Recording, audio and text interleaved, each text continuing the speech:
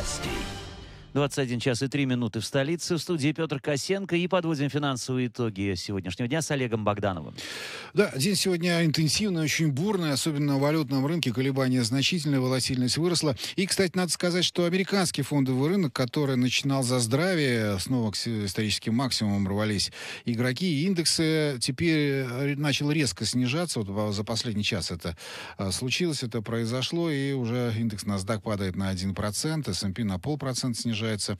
Должен пока он э, в нейтральной э, территории. Э, вот сейчас идут просто сообщения о том, что с налоговым законодательством, с реформированием налогового законодательства не все обстоит гладко. Ну и, видимо, это негативно влияет на рынок в Соединенных Штатах. Валютная история. Конечно, вчерашний Федрезерв раскачал рынок. Текст заявления вроде бы рынок оттрактовал как помягче, чем был в июне. И ситуация ситуацию с э, сокращением баланса, который скоро начнется, скорее всего, в сентябре, трактовали следующим образом. Баланс начнут сокращать, а ставку повышать не будут. И вот это вызвало продажи доллара. Причем активный доллар продавали в азиатскую сессию. Евро рос ну, почти до 1,18, 1,1770 максимум. Сейчас на фигуру ниже, 1,1670, коррекция значительная.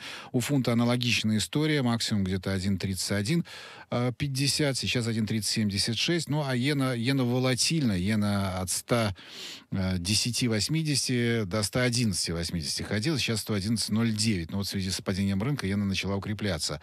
Аналогичные темы и истории на э, рынках э, валюты Emerging Markets, э, кроме рубля. Рубль стабильный, вот целый день там 20 копеек. Вот диапазон 59.40 на 59.60, сейчас 59.56. Но э, активно продавать начали и австралийские австралийский доллар и канадский доллар, они уже снижаются к американскому.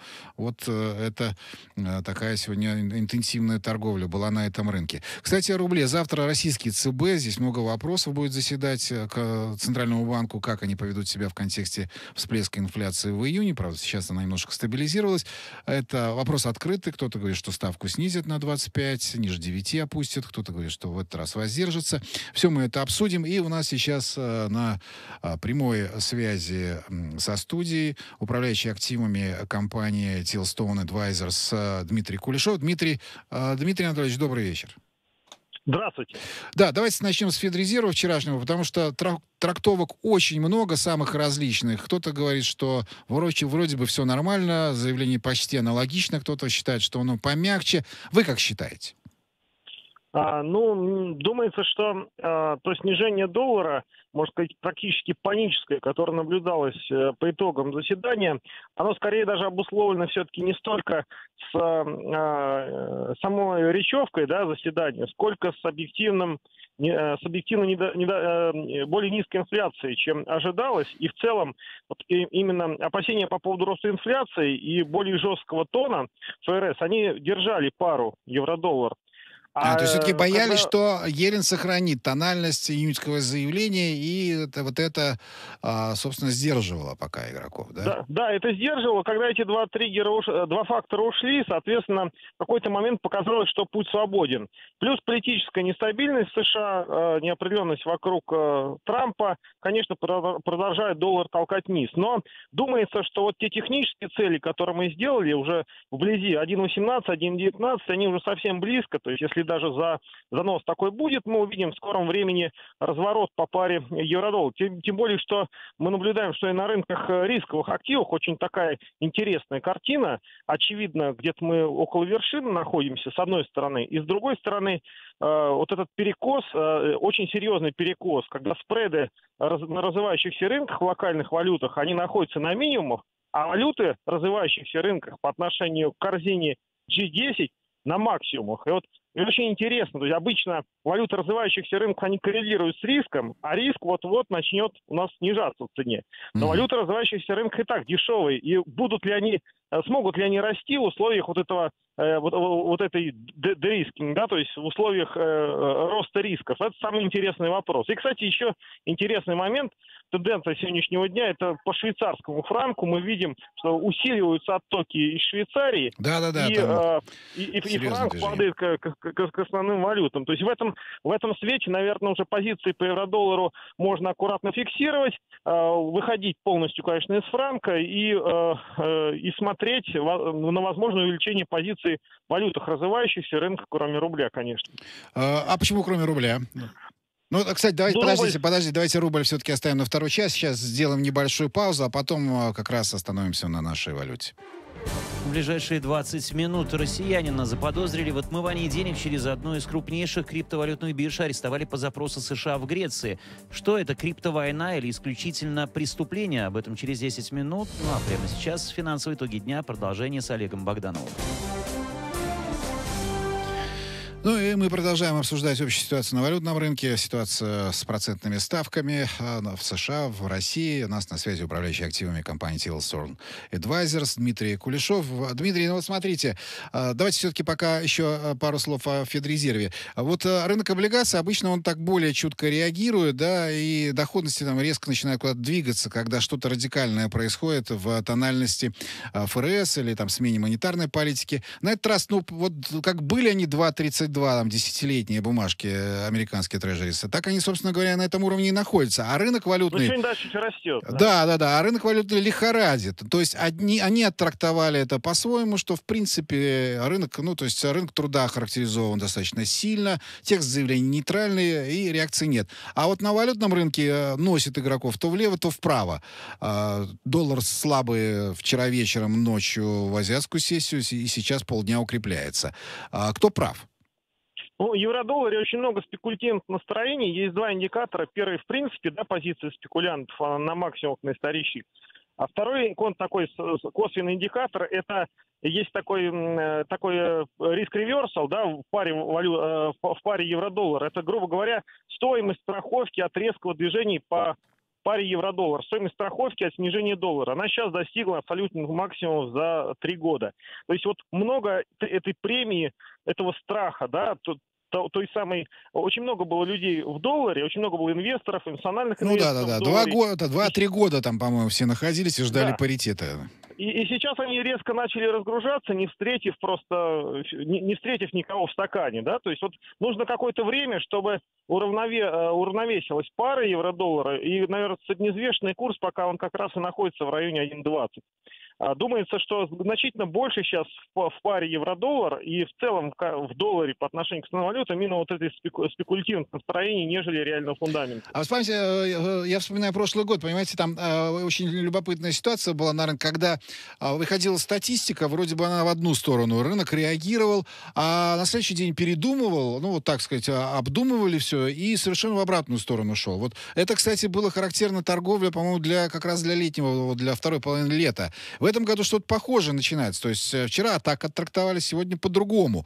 А, и вот опять спред. Ну, ведь не секрет, что главный объемы, так сказать, финансовых активов, э, средств выходят а, а, на основании спредов. Вот спред, если посмотреть европейские бумаги, американские, он по-прежнему достаточно широкий, да, и да, какой-то да. интерес в долларе все равно будет находиться, возникать. Конечно.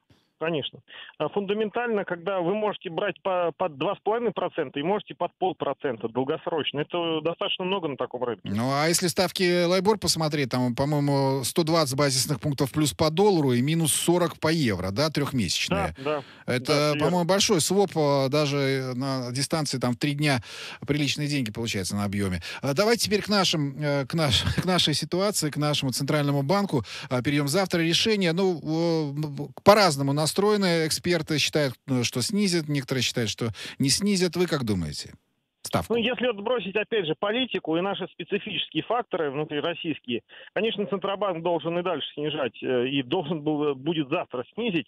А инфляция все-таки июньская высокая. А, э, ну, и, наверное, там, если посмотреть структуру, там больше такие сезонные факторы, и опять же, там посмотреть там Э, транспортные... Э, тарифы, да, в общем, да, вот эти, да, да. тарифы. То есть там, там, где монополии просто, так сказать, ну, потеряли страх всякий, а регулятор просто антимонопольный ничего не делает. То есть это не имеет отношения к, к монетарной ситуации все-таки. Плюс есть общий тренд э, в других развивающихся рынках, да, мы видим, что глобально э, вслед за снижением э, доходности снижаются и ставки регуляторов везде на развивающихся рынках.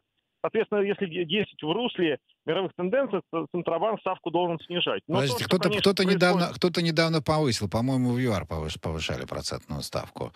Uh, точно не помню, кто-то повысил из Emerging Markets. Ну, да, но суть в том, что в России сейчас очень много специфики, связанной с санкциями. Да, санкции, в принципе, действительно серьезные.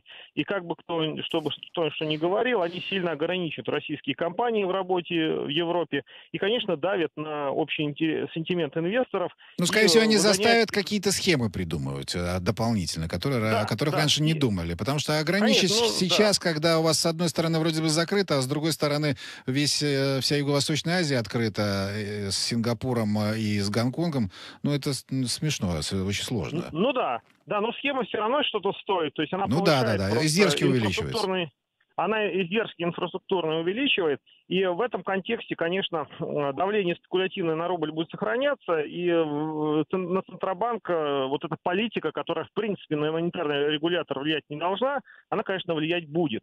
Поэтому, возможно, завтра все-таки в русле с мнением большинства да, э, аналитиков, наверное, не повысит Центробанк. Но если говорить чисто, смотреть на финансовую сторону вопроса, то до конца года как минимум два понижения ставки на 25, а может быть даже и три, должно было бы наблюдаться. Хорошо, давайте все-таки о завтрашнем дне. Если снизят, рубль будет реагировать э, снижением? А, ну, думается, что рубль э, уже, в принципе, сейчас э, негативно отреагировал да, на политику. Вряд ли он будет реагировать сильно. А главный фактор для рубля все-таки это та самая политика и те самые санкции. Угу. А, ну и растущая нефть, кстати, сильно не помогла рублю, там 50 копеек всего лишь сделал, да, то есть если цены на нефть развернутся, то это будет дополнительным негативом, он быстро может покатиться куда-нибудь к 62, это 63 рублям. Но рубль просто, на самом деле, нефть в рублях стоит сейчас достаточно мало, если смотреть. Так, Сколько там, 2900 есть или еще, еще даже да, 2900 да. нету? В, в районе 2900, соответственно, Соответственно, пока ниже трех тысяч нефть вряд ли будет э, рублю существенно помогать.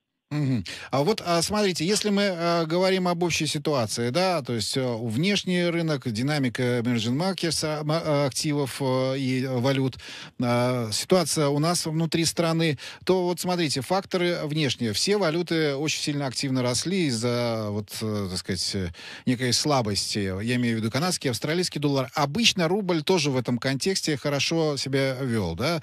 А теперь, получается, санкционная история, этот рост у нас э, притормозила. А, теперь вот возможно, что э, если статистика в США, серия какая-нибудь хорошая выйдет, вот сегодня неплохие данные по заказам были, да, дальше пойдут хорошие данные, ситуация развернется. То есть это будет ли дополнительным таким негативом для рубля, если развернется ну, рынок, который рос до сих пор, э, валюты emerging markets? Ну, парадокс в том, что сейчас есть группа новозеландские, австралийские, да, с одной стороны, есть группа э, другие валюты развивающихся рынков. Это чуть-чуть сырьевые, это, конечно, бразильский реал, мексиканский песо, российский рубль и там в меньшей степени южноафриканский рент. И они как раз вот Первая корзинка э, значительно лучше выглядела в ходе этого ралли против доллара, чем вторая. Вторая, она, в принципе, существенно недооценена. А если доллар сейчас, мы увидим, что доллар будет плавно укрепляться, то вероятнее всего э, корзинка, та, которая была слабая, она будет дальше укрепляться вслед за долларом по отношению как к новозеландцу и канадцу, так и вот к той группе, о которой мы э, э говорим, да, это э, страны G10, которые росли против доллара. Это франк, евро и особенно, наверное, ну, ну, конечно, такие экзотические пары, да, там, или взять корзину корзину э, Россия, э, рент и бразильский э, реал, мексиканский песо против швейцарского франка. Вот, наверное, вот эти трейды сейчас в ближайшие три месяца, они будут наиболее интересны и актуальны. Спасибо большое. На связи у нас был управляющим активами компании Tillstone, э, Advisors Дмитрий э, Кулешов. Э, говорили мы о ситуации перед завтрашним решением Российского Центрального банка.